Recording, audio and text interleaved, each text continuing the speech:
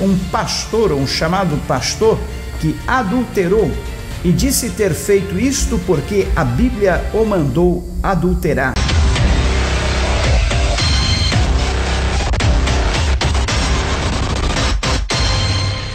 Olá, sejam todos bem-vindos ao canal Plenitude Net. Eu sou o pastor Jonas Leite, trazendo para você sempre fatos do dia, curiosidades e explicações bíblicas e sempre assuntos polêmicos e bastante interessantes para você. E hoje vamos falar, comentar sobre um fato bastante interessante ocorrido lá no interior de Minas Gerais que chamou a atenção da mídia. Esse fato que eu quero lhes falar é sobre um pastor, um chamado pastor que adulterou e disse ter feito isto porque a Bíblia o mandou adulterar. Será que a Bíblia manda alguém adulterar? O que realmente aconteceu, você vai ficar sabendo através desse vídeo aí. Acompanhe conosco. Mas antes disso, não se esqueça de se inscrever no nosso canal, ativar o sininho, porque todos os dias estamos postando vídeos novos para você.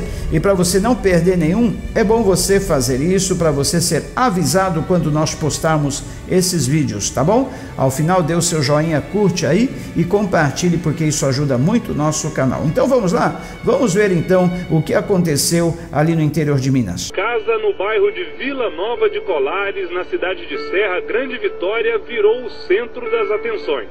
É onde mora um pedreiro que também se diz pastor. A vizinhança desconfia. Que é esquisito, é?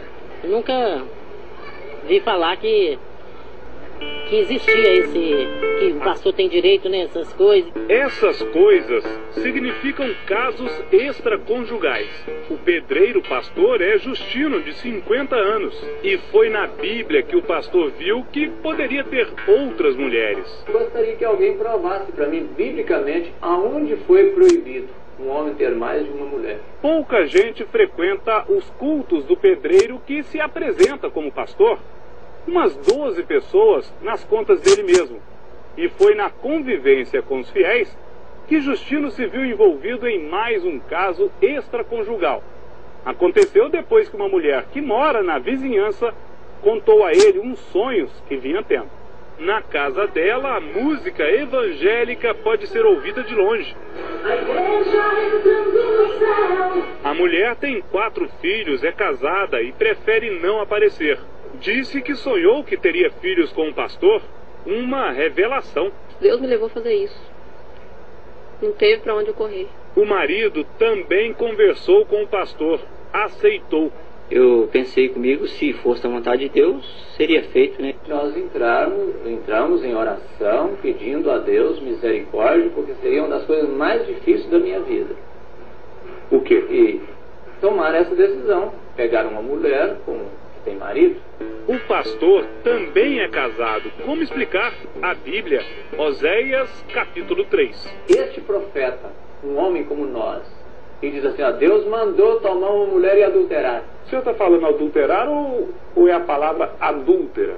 Receba essa mulher que foi adúltera. Não. Não é assim? Não, aqui está dizendo aqui que vai outra vez, ama uma mulher amada de seu amigo e adultera.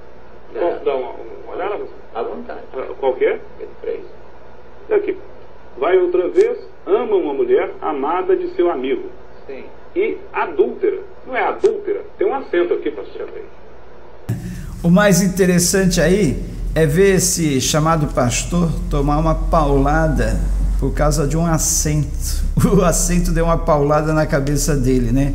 Olha só como é importante o estudo da Bíblia, né? A falta não só estudo da Bíblia, mas conhecer no mínimo as regras gramaticais. Um acento deu uma paulada na cabeça dele. O mais difícil de tudo, pior de tudo é ver o repórter dando uma aula de Bíblia para esse chamado pastor. Olha só. Houve uma interpretação equivocada? E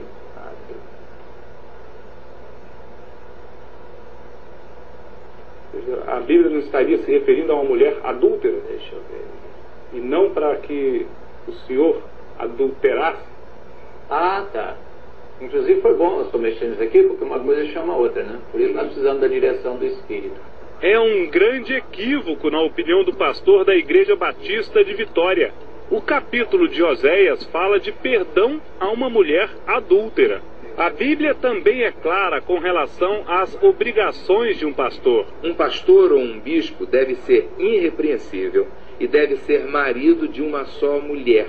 Então, isso é a palavra de Deus, é a Bíblia. A necessidade do povo, do nosso povo como um todo, conhecer a palavra para não ser enganada por qualquer pessoa que se levante com um livro preto na mão, ou com a Bíblia ou qualquer outro livro, levando as pessoas a errar. Tá aí. A Bíblia nos diz: errais, as palavras do Senhor Jesus Cristo registradas na Bíblia, dizendo: errais por não conhecer as Escrituras. Muitos têm cometido vários erros por aí exatamente por não estudar a Bíblia, não conhecer as Escrituras.